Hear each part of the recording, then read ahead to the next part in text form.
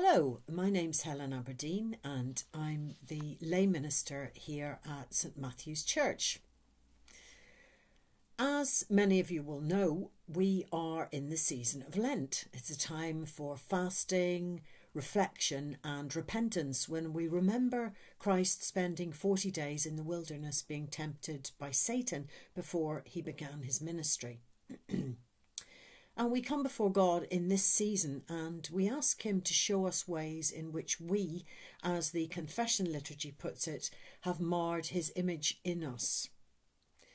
So, in the spirit of Lent, I share with you something that God showed me last weekend.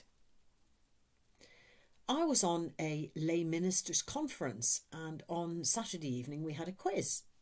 Five rounds which included a really tricky general knowledge question. Uh, round, I mean. And one of the questions was this Which English king was the first to abdicate? Edward VIII, I said confidently to my team. But one lady on the team thought differently. Richard II, she said, and proceeded to give what I thought was a pretty dodgy reason for her answer. But to be honest, I wasn't really listening anyway, because I was sure I was right.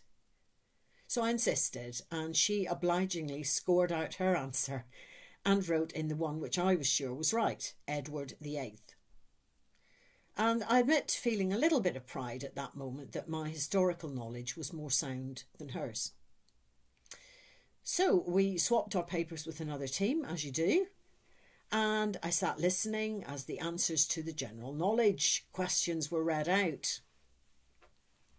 And the answer to number four said the host, Richard II. Ouch. At least I had the grace to apologise, uh, an apology which was very gracefully accepted with a smile. In Philippians chapter 2, verse 3, the Apostle Paul writes this Do nothing out of selfish ambition or vain conceit, but in humility consider others better than yourselves. Now, I don't think he's saying we have to lose our self esteem or fail to stand up for what we believe in. But I do think he's saying that we should take time to properly listen to and respect the thoughts and views of others.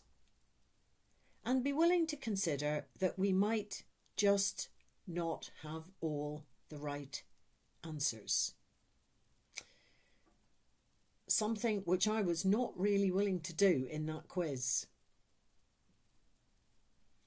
God uses such little incidents in our lives to nudge us slowly, bit by bit, along the road to being more like Jesus.